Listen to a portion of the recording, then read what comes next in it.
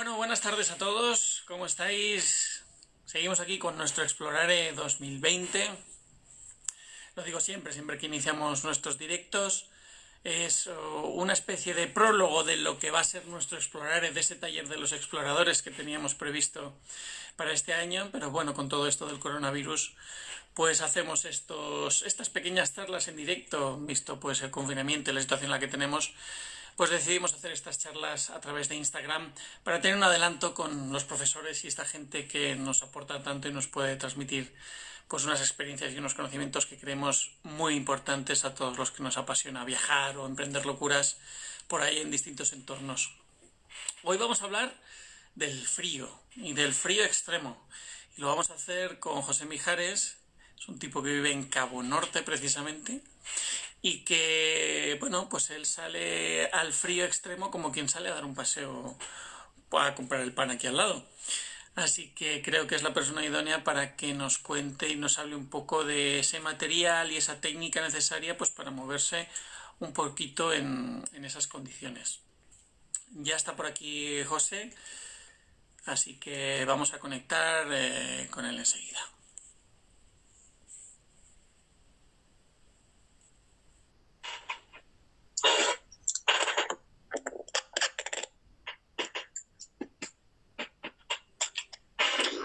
¿Qué tal, Diego?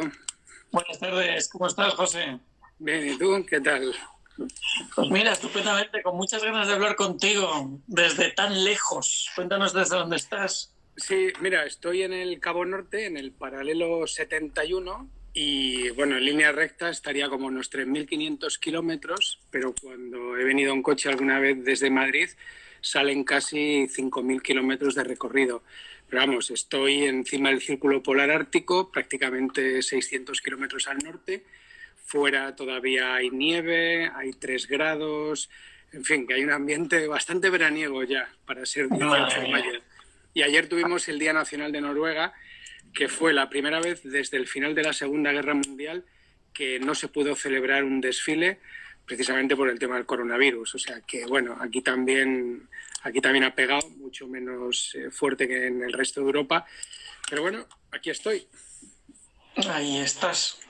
José es un tipo que, bueno, para este contenido que vamos a dar, creo que no puede haber nadie más idóneo, porque decía antes que, bueno, también un poco la situación en la que, donde vives, el lugar en el que vives, en Honisbach, eh, bueno, tú sales, tienes, yo digo siempre, José, bueno, mira el reloj, dice, bueno, tengo unas horitas, me voy a subir la montaña, hace menos 30, bueno, me preparo y, y tiro para arriba y ya me vengo cuando sea, ¿no?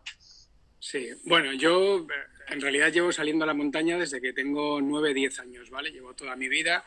Eh, soy de una ciudad que tampoco es muy caliente en España, como es Palencia, y me he criado mis primeras aventuras de adolescente en el norte, en la montaña palentina, que es un sitio fantástico y que tiene un poco de lo remoto que todavía queda en esa España que hoy es la España vaciada, ¿no? Pero que ha sido prácticamente siempre una España muy vacía, y con unas montañas y unos paisajes espectaculares. Entonces, em, he subido montañas, en los Andes, en África, en Asia, en Oceanía. La montaña ha sido siempre mi pasión.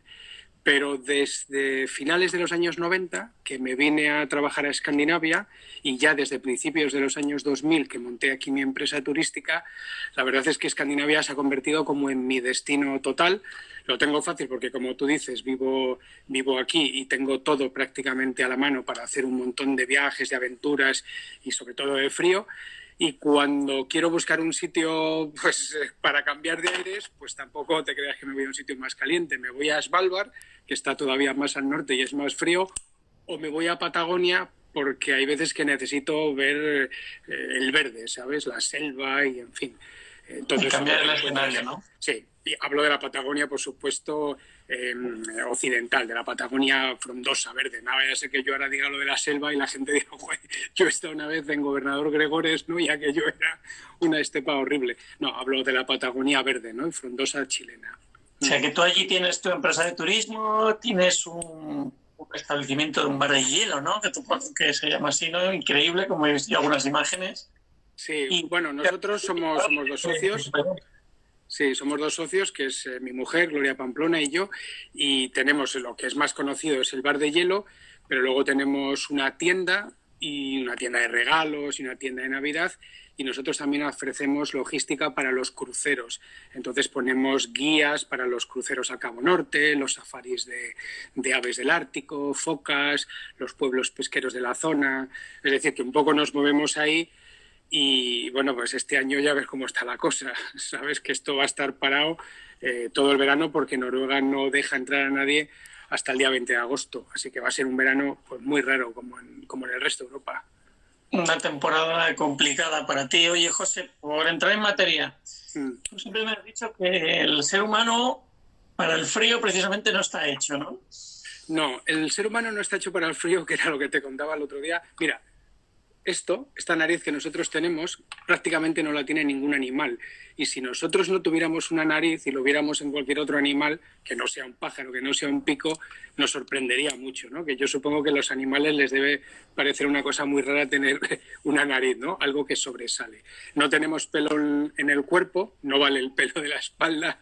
Y sobre todo tenemos una cosa muy mala, que no tiene ningún animal que vive en el Ártico, y es que nosotros compensamos y regulamos la temperatura sudando cuando tenemos demasiado calor. Entonces eso es algo que directamente en el frío nos mata. Porque tú fíjate, por ejemplo, un perro polar o cualquier perro, sudan a través de la boca. Eh, o también un poco por las pezuñas. Eh, los osos polares no sudan, eh, no suda prácticamente ningún animal adaptado, los zorros, en fin, los renos no sudan, ¿no? Sin embargo, por ejemplo, hablando de, de animales que sí que sudan, Scott cuando fue a la Antártida y llevó los caballos manchurianos, el caballo manchuriano sí suda. Tú corres con un caballo y le tocas el cuerpo y es un olor dulzón, además, el sudor del, caballo. Y aunque tenga pelo, ese sudor era lo que mataba al caballo manchuriano. El caballo manchuriano puede aguantar 50 grados bajo cero, pero si le haces trabajar y dejas que sude, se congela. Nosotros nos pasa exactamente lo mismo. Nuestro principal problema es evitar la humedad para que esa humedad cuando se congele no nos mate. Entonces, curiosamente, cuando sales al frío, eh, lo que tienes que hacer es abrigarte con mucha cabeza. Entonces, lo primero que tienes que empezar a hacer cuando hablas de frío es familiarizarte con el frío. Tienes que reconocer muy bien, y yo siempre digo que el frío lo ves y lo escuchas. Mira, cuando yo estoy, por ejemplo, viendo, ¿Ah? sí, cuando yo estoy, por ejemplo, viendo en la televisión que ha nevado en, en Villoldo, que es un pueblo de la provincia de Palencia, donde normalmente no nieva, pero ha nevado un poquito, 5 o 10 centímetros, y van las cámaras de la televisión.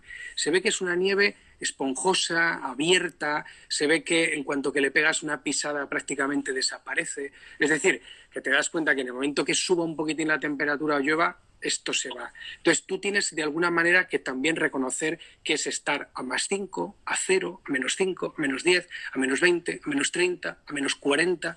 Y si tienes suerte y alguna vez te encuentras a menos 50, pues también tienes que saber distinguirlo.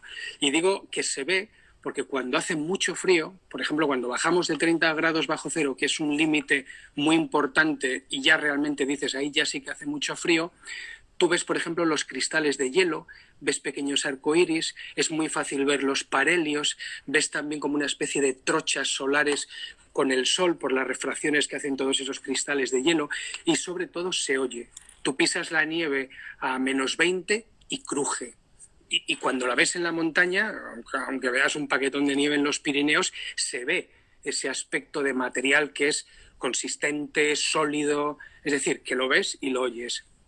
Entonces, teniendo un poco en cuenta cómo tú te vas sintiendo con esas temperaturas, porque nadie se mete de repente a menos 30 grados bajo cero, y es importante no hacerlo además. Es importante ir poco a poco, salir por la montaña en España, luego ir a los Pirineos, a lo mejor vas a esquiar a los Alpes, que es un poco más frío, luego te vas a una pequeña expedición, a otra, apareces en, yo qué sé, en Laponia en, enero, en febrero. Una vez que tienes un poco, eh, que te encuentras a gusto con el tema del frío, lo que tienes que saber, sobre todo, es qué material puedes utilizar para vestirte. Y en realidad, el tema del frío solamente es técnica, lógica y conocimiento. Y a partir de ahí, no se trata de tener eh, el mejor material, que está muy bien si tienes el mejor material, pero muchas veces para abrigarte mucho en expediciones eh, no hace falta que lleves tanta ropa, pero tienes que ponerte, por ejemplo, una buena capa como primera, como primera medida pegada al cuerpo. Entonces, bueno, yo en Escandinavia, en Noruega sobre todo, lo que he aprendido que lo mejor que te puedes poner es lana. Entonces, la lana es, eh, es, un material fantástico. Pero da igual que sea lana, en este caso yo uso lana como primera capa, pero lo que consigues siempre eh, todos los aislantes, sea lana, sea Primaloft, sea pluma cuando te lo pones por encima, es crear capas de aire que funcionen como un regulador térmico. Y te pongo un ejemplo. Las ventanas en Noruega son triples, tienen tres capas de cristal. Entre la primera y la segunda capa hay una capa de aire. Entre la segunda y la tercera hay una capa de aire. Lo que aísla una casa es el aire de esos tres cristales. Entonces, lo que tú tienes que crear es una capa en la cual no dejes salir el calor que tú produces a 36,5 grados, que es como una pequeña catalítica, no salga fuera y lo que tienes que evitar es que el frío que está fuera entre dentro. Y eso se consigue regulando térmicamente con esas capas de aire. Si tú te pones una capa de lana, y te voy a enseñar una cosa muy curiosa porque estoy en el almacén que me pediste que aquí, pues he puesto alguna. que es un sitio para, que, para que no lo conozca, lo puede ver en algún vídeo por ahí en internet con todo el material que tiene ahí, que es bueno, es fantástico. Bueno, pero ¿ves esta camiseta de agujeros? Sí. Vale. Más o menos.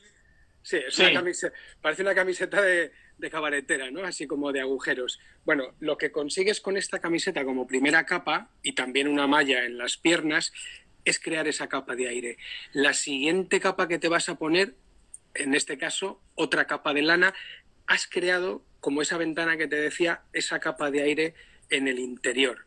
Y, por ejemplo, para salir a 30 grados bajo cero, 35, yo uso dos capas de lana, arriba y abajo, y una chaqueta de goretes y un pantalón de goretes y no uso más.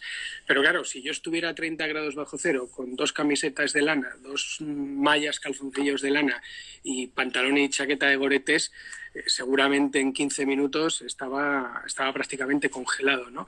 Entonces, lo que tengo que hacer es generar calor. Empiezo a hacer ejercicio. Entonces, todo el tema del frío es mantener el suficiente calor sin llegar a sudar pero conseguir, para eso, no abrigarte demasiado, pero tampoco quedarte demasiado flojo, ¿no? Por eso te digo que hay que familiarizarse con el frío. Hay que tener esa experiencia para saber, sobre todo, en qué márgenes de temperatura te vas a mover y, saber cómo vas a reaccionar con esas capas, ¿no? No será lo mismo menos 30 o tú que estás más preparado al frío eh, o al ejercicio concreto en ese, tienes que tener de alguna forma, si no tienes esa experiencia, o algún tipo de capacidad de poder ponerte y quitar. Sí, pero lo que tienes que hacer es, eh, mira, has dado una buena clave. Tú, por ejemplo, imagínate que te pones las dos capas, ¿no? Y de repente dices, joder, hace un frío del demonio, estoy viendo aquí el termómetro, tal, no sé qué, y me pongo un forro polar grueso y encima me pongo el goretés y empiezo a desmontar el campamento, empiezo a desmontar la tienda, a guardar el saco, preparar la pulca o la mochila o lo que lleves. Está claro que necesito mucho abrigo porque cuando salgo del interior de la tienda afuera eh, la temperatura es brutal y yo no voy a hacer tanto ejercicio, ¿no? O incluso los primeros 10-15 minutos necesito moverme activamente para poder generar calor, ¿no? Pero claro, si yo ya empiezo a sudar, ¿qué hago? ¿Qué haría mal? Me quitaría la chaqueta de goretes, me quitaría el forro polar, dejaría el forro polar y me pondría la chaqueta de goretes. Sí, ¿no? Ya, no, no, mm, no, mal hecho, no, porque cuando te abres la chaqueta de goretes ya te estás exponiendo a un frío extra. Cuando te quitas el forro polar ya ni te quiero contar. Y si el forro polar ha cogido humedad por la zona de la espalda, a mí me ha pasado con un compañero que, hizo eso y el forro polar estuvo 15 días en la pulca que estaba congelado, parecía como un niño pequeño que estaba allí de pie y no había, o sea, era, se había hecho como cartón. Entonces, cuando tú quieres regular la temperatura, tú lo que haces es al revés, te pones la ropa encima y te coges y te pones chalecos, por ejemplo, y te pones un chaleco cuando te paras. Este es un chaleco fino de Primaloft, pero te puedes poner un chaleco de plumas o te puedes poner el mega chaquetón de plumas o de Primaloft y cuando dejas de tener eh, frío o tienes que empezar, coges el chaquetón de plumas y lo guardas. Y el chaquetón de plumas o la chaqueta de Primalov no va a tener el problema de que se humedezca porque tú llevas la capa de goretés, que es la que va a impedir que salga el sudor. ¿Entiendes lo que te digo? Tú te tienes que abrigar por encima. Esto los escaladores lo saben muy bien. Están escalando, llegan a una reunión y se ponen la chaqueta de plumas encima de lo que llevan. Y cuando les toca volver a escalar, guardan la chaqueta y entonces siguen escalando. Tú lo que ya no tienes que hacer de ninguna manera es abrirte la chaqueta. Entre otras cosas porque te puede pillar que estás en mitad de un temporal, se te sale volando la chaqueta o se te puede liar una... Claro, pero imagina que no, se, no has ajustado bien esas capas y tú empiezas a caminar y notas que estás a punto de romper a sudar. Claro, por eso... Claro, pero es que la idea es, por eso te digo que te tienes que familiarizar. Hombre, no pasa nada, ¿eh? cuando estás a 10, 15 grados bajo cero, pues no pasa nada. Te quitas el forro polar o te quitas lo que te tengas que quitar y, y lo guardas y ya está. Intentas que no haberlo sudado mucho para que esto luego no se congele y se acartone y tal. A ver, claro, son errores que siempre cometemos, pero lo ideal es que salgas muy poco vestido. O sea, en realidad... Mejor es que... ir añadiendo que, que, pasarte y romper a sudar, ¿no? Claro, tienes que poner por encima. Yo, por ejemplo, llevo unos pantaloncitos de Primalov, pues cuando salgo para montar el campamento, pantalón de Primalov, o puede ser un pantalón de pluma, chaqueta de Primalov o chaqueta de pluma, o me da igual, ¿eh? otra fibra. A mí me gusta mucho el Primalov. Claro, cuando te compras esa chaqueta, tienes que tener en cuenta que te cabe encima de todo lo que tú tienes, ¿sabes? Que no te la puedes comprar para salir el, el sábado en plan wise, sino que te la tienes Nos que preguntan por aquí, José, ¿qué opinas de, de, que la primera capa sea de material artificial? Yo prefiero la lana por muchos sentidos. La lana es elástica y no rompe. La lana es inúfuga, no se quema. Y si se quema, la llama se disipa. Es hidrófoba, por lo tanto, expulsa la humedad del cuerpo y es bactericida no huele. Tú coges una camiseta sintética después de tres o cuatro días y huele que no se puede aguantar. Y te quitas una camiseta después de 25 o 30 días y todavía, eh, todavía te aguantan los de al lado. Entonces yo creo que la lana es, de verdad, es un inventazo de la leche. Y además quería ponerte también otro ejemplo. Tú fíjate cuando se ven las, eh, por ejemplo, las eh, expediciones históricas y ves a Mallory o a Norton en los años 20 en el Everest, a 8.500 metros de altura. Norton, pero si le ves y parece que está el tío en el espolón en Burgos. O sea, una americana de lana, unos bombachos, tal, no sé qué. Y hoy parece que es impensable que tú vayas así de abrigado, pero esas fotos están ahí, las puedes ver en los registros. Así se vestía la, la gente en aquella época. Yo el sintético no te digo que esté mal, pero yo prefiero apostar por un material que es mucho mejor y que es la lana. También es más caro. ¿eh? Cuando vas a comprarla no vale lo mismo una camiseta sintética que una camiseta de lana. Pero yo creo que como primera capa es espectacular. Uh -huh. Y eh, entiendo que un poco con la gestión de todos estos materiales, fundamental gestionar la energía, como a la hora de salir, a la hora de las calorías en tu cuerpo, a la hora de esa planificación, no solo en cuanto a material, sino a la energía y la verificación de ella, ¿no? Mira, yo creo que la exploración en todos los terrenos es una cuestión que hay que poner mucha cabeza. O sea, tú puedes estar más fuerte que un tractor, pero como tengas poca cabeza no llegas a ningún lado, ¿no? Entonces, es evidente que cuando te vas a meter en un sitio de frío tienes que comer, porque las calorías es lo que te va a generar calor. Tienes que comer hidratos de carbono porque al final va a ser también la gasolina del músculo. Es decir, tienes que tomar muchas cosas que te ayuden, ¿no? Entonces, eso por un lado, tienes que evitar no romper a sudar. Lo que pasa, claro, a veces es imposible, ¿no? A veces vas a sudar y ya está, pues sudas y sudaste, pero si tienes dos capitas y un goretes, pues ese sudor se va a disipar muy rápido porque es que prácticamente no tienes ropa, ¿no? Eh, tienes que intentar no coger frío en las extremidades, la cabeza, tienes que llevarla bien abrigada, los pies es muy importante, las manos también son especialmente importantes. Eh, si se te queda algo frío, por ejemplo, pues es muy común que se te puedan quedar las manos fríos, pues centrifugar con mucha fuerza un brazo hasta que notas que te llega la sangre a la punta de los dedos, que te quema, ¿eh? es que llega un momento que te hace hasta daño, pero dices, bueno, no puedes dejar que aquello se vaya y entonces te metes en una situación de frío que ya se puede convertir en irreversible. Por otro lado, cuando tú haces travesías, digamos, horizontales, tú vas siempre a baja altitud. Entonces hay mucho oxígeno. No es lo mismo estar a 40 grados bajo cero eh, a 300 metros sobre el nivel del mar que estar a 20 bajo cero a 8.000 metros, porque a 8.000 metros la densidad que tienes en tu sangre por los glóbulos rojos eh, es brutal. Entonces es más fácil congelarse a 7, 8.000 metros de altura que congelarse sobre el nivel del mar. ¿no? Hay muchas clases de frío, un frío seco, un frío húmedo, un frío con viento, un frío, por ejemplo, de cuando es la noche polar. Yo donde vivo es un sitio que hay 75 días de sol de medianoche, que lo viene a ver la gente, que es muy bonito, pero hay 75 días que hay noche polar. El sol no asoma en el horizonte. Cuando tú caminas o haces una actividad, y yo he hecho una de las expediciones en noche polar durante 49 días, o sea, realmente la humedad es brutal. Es brutal porque el sol nunca acaba de asomar en ningún momento. Entonces ese es un frío eh, descomunal, ¿no? Entonces tienes también un poco que ver, no es más frío 40 grados bajo cero, por ejemplo, en, el Inari, un día que hay un anticiclón y estás en mitad del lago y puede hacer 30-35 grados, pero es más frío estar posado en el hielo encima de 60 o 70 centímetros que estar, por ejemplo, en el bosque a la misma temperatura, porque el frío que entra de abajo arriba con, con la humedad que viene del lago es insoportable. Entonces muchas veces tú dices, bueno, tengo que elegir dónde acampar. Cuando he hecho expediciones en Svalbard por encima del mar helado te tienes que ir a tierra firme. No porque el, mar se vaya a abrir, se vaya a romper o el lago le vaya a pasar nada. Es que el frío es muchísimo más duro eh, cuando tienes toda esa humedad.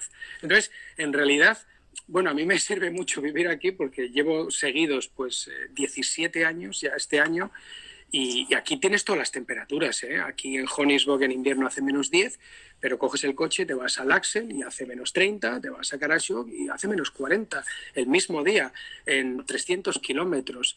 Y, entonces pues, pues, pues sales y, lo oyes como cruje y si te vas a hacer una actividad, pues claro, el frío es muy intimidatorio también. Ya eres capaz de percibir esos, casi la temperatura sin mirar el termómetro, ¿no? Más o menos por esas señales Sí. La experiencia te da, eso. Yo quería preguntarte, José, vamos a seguir con esa travesía. Cuando te paras, que dices que es el momento en el que, claro, la temperatura baja, montamos campamento.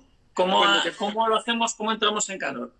Sí, bueno, lo primero que tienes que saber es que la bota que vas a llevar tampoco es una bota cuando haces estas travesías de esquí y tal, tampoco es una bota ahí que la gente se puede imaginar que es una bota un pepino. Y entonces tengo aquí una bota, ¿vale? esta es una bota con la que yo crucé Groenlandia. Tú ves esta bota y esto parece una bota de trekking, ¿no? Una, bota, de cuero. Sí, una bota de cuero muy flexible, con el ganchito para la fijación de backcountry. Vale, ¿qué es lo que le pasa a esta bota que es muy sencilla? Que va apoyada encima de un centímetro y medio, que es la tabla de esquiar, y que tú vas flexionando el pie. Entonces, de entrada, ese pie, ahora esta bota se ha mejorado mucho, ya viene con un cubrebotas incorporado de Goretés, o sea, esta bota es la prehistórica, la bota nueva que tengo no se parece nada. Vale, pero tú vas encima de un aislante natural que es un centímetro y medio de madera, que es el esquí, y tú vas flexionando el pie, ¿vale? Cuando te bajas de los esquís y te colocas directamente sobre el piso, ostras, tienes que hacer las cosas rápidas. Entonces, lo que tienes que tener claro cuando vas de expedición al frío son tres cosas. La tienda tiene que estar premontada para que sea lo más rápido posible. Yo estoy muy acostumbrado a viajar solo y te diría que más de la mitad de mis viajes son solos. Entonces no puedo contar con la ayuda de nadie. La tienda va premontada encima de la pulca. Tardo en montar la tienda sin exagerar, dos, tres minutos, ¿vale? Lo que es lo básico. Luego, pues si tengo que clavarla, los vientos y tal, pues me puede ir a diez minutos. Entonces, la tienda lo primero. El saco tiene que estar también premontado encima de la pulca para caso de emergencia. Pero monto la tienda, meto el saco y meto la cocina. La cocina es un quemador, puede ser un Primus, un MSR, no utilizas gas cuando hace mucho frío, utilizas gasolina. Y entonces la gasolina lo que haces es que la colocas dentro. Vosotros habéis puesto una, foto en la historia hoy de, la Sociedad Geográfica y se ve que hay un rifle y se ve que hay una cocina en mitad de la tienda. Eh, habrá mucha gente que diga que esto es una locura, que es desaconsejable y tal, pero es la única manera que eres capaz de conseguir verdaderamente calor dentro de la tienda de campaña. Y esto lo hace todo el mundo. ¿eh? O sea que esto yo lo he aprendido en Alaska. Claro, es que suena, dices, cuando lo puede ver alguna persona efectivamente, bueno, se va a quemar, se va a quedar sin oxígeno, se va a quedar ahí. pregúntale a Ramón Larramendi que, lleve, que, que, vamos, que lleva con esto pues también como 35 años. Esto cuando lo aprendes y te lo enseñan, te parece que es un escándalo, pero esto es así. Entonces, ¿qué es lo que consigues? Hombre, tienes también que tener un poco de ventilación, porque no te puedes comer. No, dime que dejas una rendijita abierta, algo. Sí, dejas una rendijita y yo normalmente, antes de acostarme del todo, salgo, hago un pis y me vuelvo, ¿sabes? Y entonces digo, bueno, pues ya ha entrado todo el aire que tenía que entrar aquí. Y, y de todas maneras, lo que consigues es calor. Entonces, eh, cuando paro, lo primero que hago es abrigarme. Me pongo un chaquetón grande de plumas, un tres cuartos me pongo unos guantes para trabajar, porque cuando estoy con las piquetas y todo eso no uso las manoplas que uso habitualmente, ¿vale? Y me pongo también un pantalón de plumas, de tal manera que cuando empiezo a montar la tienda, que son pocos movimientos, montar la tienda, repasar los perímetros, poner... En fin, yo he viajado durante 10 años con un perro yo antes de montar la tienda prácticamente lo primero que hacía era dar de comer a mi perro, le ponía un capote térmico, le daba mimos, eh, le hablaba un poco y le contaba cómo iba a ser la etapa del día siguiente y él me escuchaba, ¿sabes? Entonces yo necesitaba tener calor, ¿no? Antes de nada.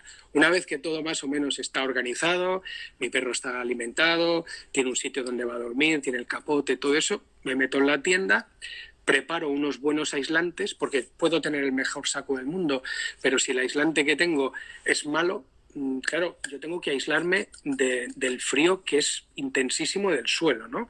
Normalmente suelo llevar dos, dos aislantes, ¿vale? Coloco el saco, y, el saco va a estar frío, porque si el saco ha venido encima de, de la pulca y hace menos 25, pues tampoco es que el saco vaya a estar caliente. Y entonces te puede ocurrir que cuando te metes en el saco, después de cenar, después de calentar con la cocina, la tienda y todo eso, pues coño, aquello está frío como un demonio, ¿no? Entonces hay mucha gente que se pone patucos de plumas y tal y no sé qué. Pero eh, no tienes tanto calor tú como para calentar el espacio de aire de un buen saco. Entonces, pues a lo mejor lo más sencillo es la bolsa de agua caliente que nos ponían las abuelas cuando íbamos al pueblo. Coges una botella de estas que pesa 105 gramos, la llenas con un litro de agua hirviendo que está a 100 grados, que no la puedes ni coger, te aseguras que está bien cerrada, que no tiene pérdidas, y la metes dentro del saco. Entonces tú imagínate lo que es una, pues esto, 100 grados, que va a bajar rápido, 95, 90 y tal, pero entre 90 y 80 grados metiendo calor al saco de dormir, pues cuando te metes dentro ya tienes calor. Cuando esto ya baja a una temperatura razonable, colocar los pies encima. A que tu protocolo, José, por ubicarnos, tú premontas la tienda, tienes el saco preparado, pones el aislante, el saco y lo primero que haces es encender el fuego, sí. gasolina, calentar sí. tu agua y meterlo dentro del saco, una botella de agua hirviendo, ¿no? Exacto, sí. Y ¿Podríamos luego... decirlo así? Sí, sí, podríamos decirlo así. Y luego ya empiezo a cenar y es muy importante para que yo tenga calor por la noche que haya comido bien. Porque claro, si me tomo un sopicaldo chino de noodles que tienen, pues no sé, 200 calorías y un café, pues es que me va a dar un parraque. Entonces tengo que meter calorías. Pues normalmente me hago un liofilizado, le meto un extra de aceite de oliva que le mete también muchas calorías y le mete mucha grasa. Me tomo también una sopa para también hidratarme. Eh, luego me tomo un poco de chocolate. Me sigo hidratando. A mí, me, por ejemplo, me gusta mucho el café. Entonces, uh -huh. bueno, pues bebo mucho, ¿no? No café tipo español, sino café tipo noruego, de esto de, pues, de filtro, que te puedes beber un litro y es como si te tomas medio cortado en España. Entonces, pues bueno, te hidratas, comes, te alimentas. Te, yo me abrigo mucho la cabeza porque yo la cabeza, no sé por qué, es como mi punto débil y no sé ir sin gorro a ningún lado. Y, y ya está. Y no meto cosas frías dentro del saco para calentarlas, porque si metes cosas frías dentro del saco, lo que estás haciendo es robándote ese calor, salvo que tenga el botellón este de agua caliente y entonces diga, bueno, pues voy a meter dos o tres cosas. Y a lo mejor la chaqueta de Primalove lo que hago es que me la pongo en los pies, la cierro con la cremallera y la uso para meterla en los pies, de tal manera que mañana lo primero que voy a hacer cuando salga es que la chaqueta está caliente. -huh. Y yo también he conseguido calentarme extra pues eh, de rodilla para abajo. Eh, y eso es lo que hago. Y luego, por ejemplo, con la cocina, lo que hago es secar parte del material porque aunque tú luches contra esa humedad, es evidente que tú necesitas secar. Y entonces, pues en las tiendas estas todo el mundo tiene el típico hilo con unos imperdibles y, te haces un tendedero, lo colocas debajo de, o sea, lo colocas encima de la... Guantes, calcetines... Sí, sí. Y entonces te, quiero, enseñar una cosa, aprovechando también. Y entonces, yo cuando... Yo he subido dos veces el McKinley, ¿vale? En Alaska, que es una montaña frísima. Mira, este es el guante para subir eh, una montaña como el McKinley. Es un guante de plumas, gigante y todo eso. Pero cuando voy a un viaje horizontal, en Svalbard o en Laponia, me llevo un fino de lana, ¿vale? Me llevo una manopla más grande de lana. Utilizando una, una zapatilla que usan los lapones, que son con lo que ellos caminan eh, dentro de una bota de piel de reno, yo corté la puntera, a ver, que es que esto también es todo muy rústico, ¿vale? Y entonces saqué esta parte. Y esta parte extra todavía me la coloco en las manoplas. Y finalmente me pongo una manopla de Goretex. Y esto es todo lo que llevo. Todo esto lo que hago es que se, seca muy rápido. Lo pongo encima del tendedero, a veces no me hace ni falta.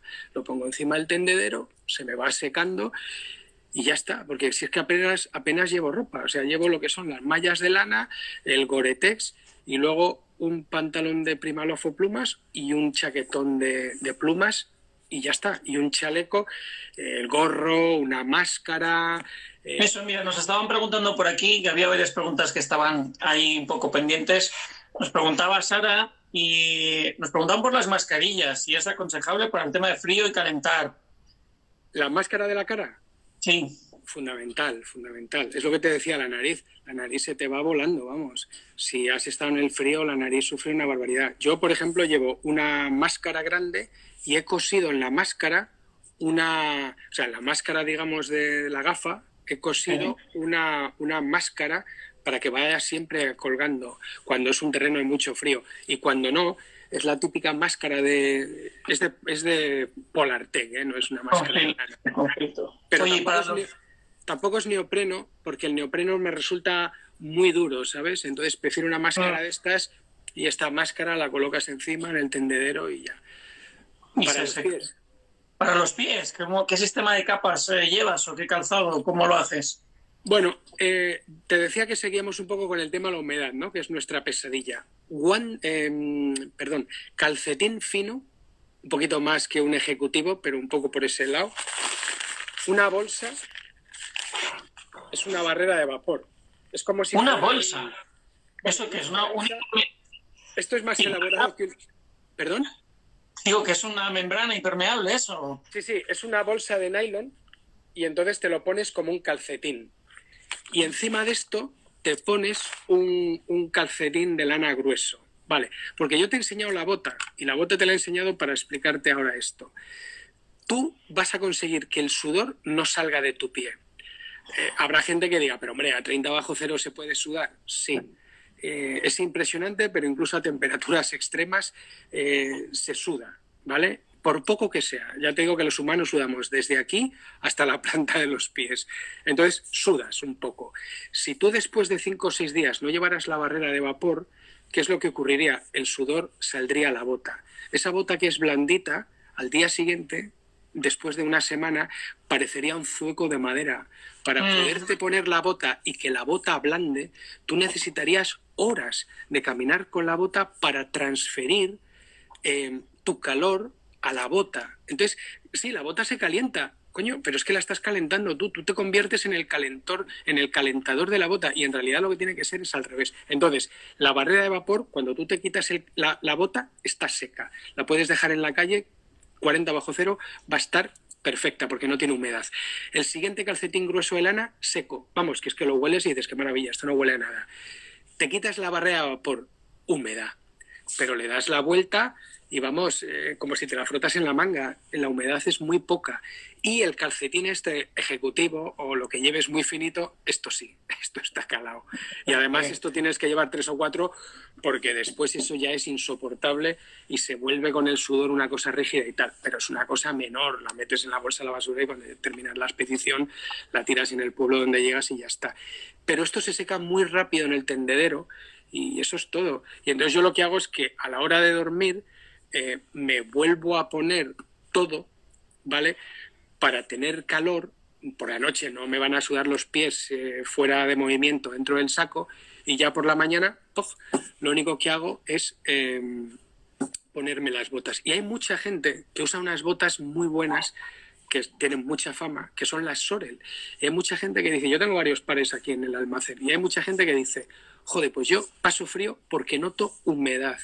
Y la humedad es esa, la humedad es lo que tú la que estamos generando. La que estamos generando. Claro, si no tienes una barrera de vapor de este estilo, pues no pasa nada. Te coges una bolsa de supermercado, calcetín, otro calcetín y mira, ya está. Y entonces, aunque esa humedad pueda parecer un poco una marranada, pues en el fondo es una humedad como templada, ¿sabes? Que llega un momento que te acostumbras. A lo mejor la bota, lo ideal en estos casos es comprarte un número más. Yo tengo un 43, pues aquí es un 44 tienes un poco más de espacio, vas más cómodo. En fin, es un poco. Ese es un poco qué interesante, José. La verdad es que parecen pequeños detalles, pero que marcan la diferencia de una manera, manera brutal. Vamos a ir cerrando. Tenemos aquí alguna preguntita. Sí, dime, dime. Te voy a enseñar lo que usan los de aquí. Eh, botas de piel de foca. Ostras, qué bueno. Sí, este es el mayor aislante. Lo que pasa es que, bueno, la foca tiene muy mala prensa, ¿no? y, y, gorros y gorros de foca también.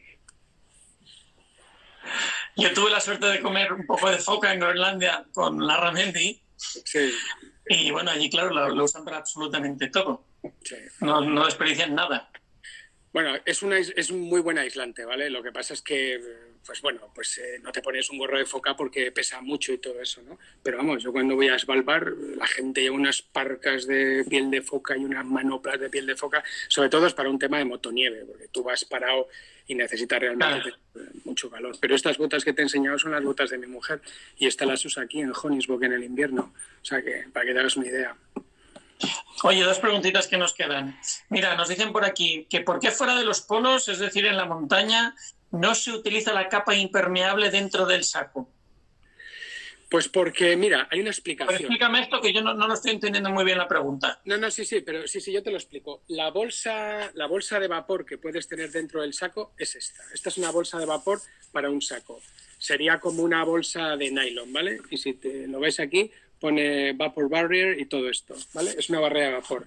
¿Por qué no se usa en la montaña? Pues muy sencillo, porque tiene sol. Y entonces te vuelvo a explicar, yo estuve en el, en el subiéndolo dos veces, hace un frío descomunal, pero sale el sol, está a 63 grados norte. Entonces cuando el sol sale y pega a una tienda, eso es como si fuera un invernadero. Entonces el saco que durante las horas que no ha habido sol, pero que ha habido luz, se ha escarchado, tú has creado con tu respiración también que se te haga pues como una especie de plancha encima del saco, arriba en la tienda se te han hecho cristales de hielo. Eh, cuando sale el sol, todo eso desaparece. Y entonces el saco se hincha, no lo necesitas. Yo sabes cuando sí que he visto que sí que lo usaría, cuando he visto que las invernales al Himalaya, veo los sacos, eh, estuve hablando con Alex Chicón porque hace unos años coincidimos en unas jornadas en Tenerife y él me decía, ostras, es que el saco de pluma era, eran pelotas de pluma porque la humedad hace que la pluma se junte y era una auténtica porquería. Ellos se metían con el mono de pluma, las botas, en fin, con todo, ¿no?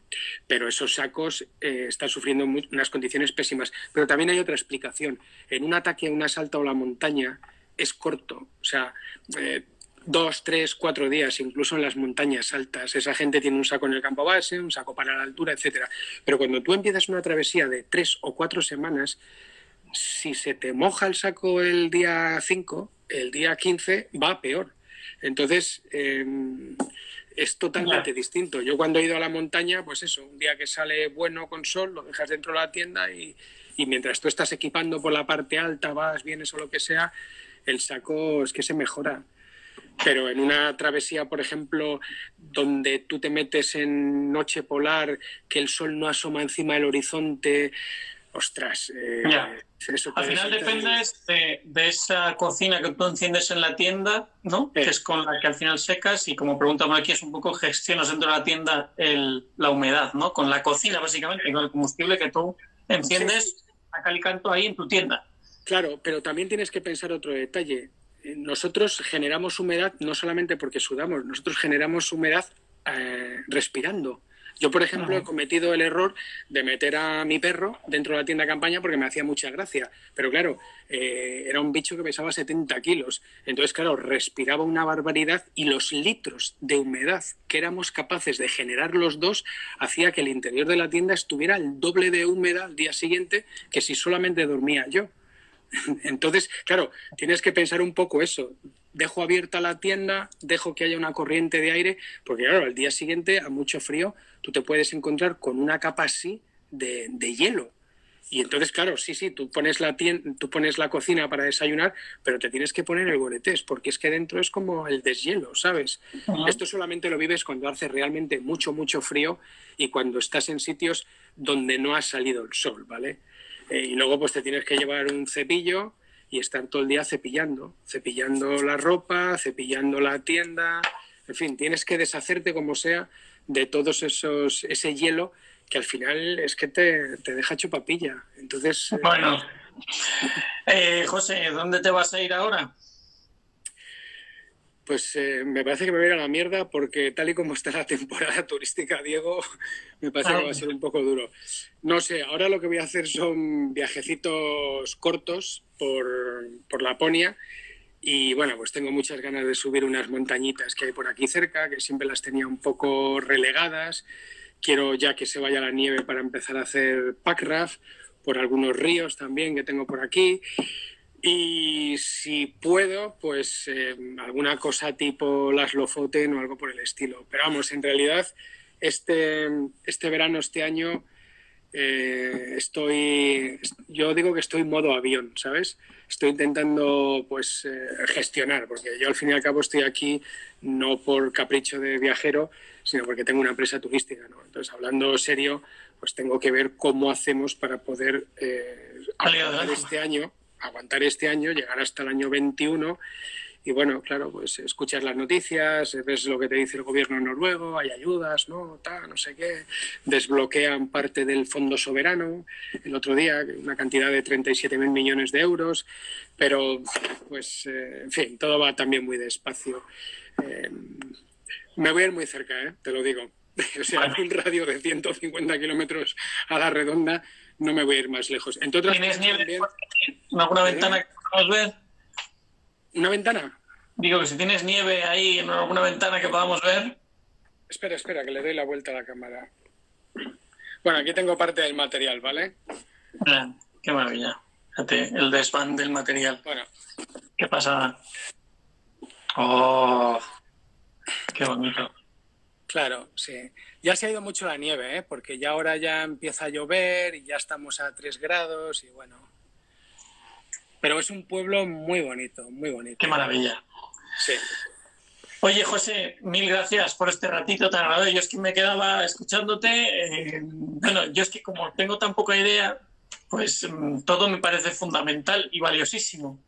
Así que queda pendiente que nos encontremos en persona y nos veamos y, y profundizar en estas cosas. Y a ver si podemos hacerlo esto cuando salga de verdad un taller en condiciones para la gente que, lo va a aprovechar y, va a disfrutar, pues sobre todo pues ver también en, las manos y ver todo este material y estas explicaciones, pues que hace falta, hace falta un poquito más de, tiempo. Al final esto no deja de ser una conversación en, Instagram, pues que nos da para lo que nos da.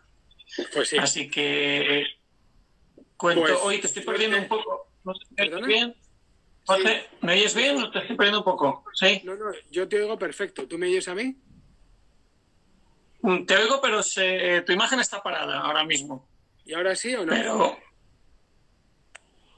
Vale, te oigo bien, que es lo importante. Bueno, un poco... pues, pues eso, que mucha suerte a todo el mundo, ¿vale? Y que, y que disfruten del frío, que, que además se rejuvenece mucho.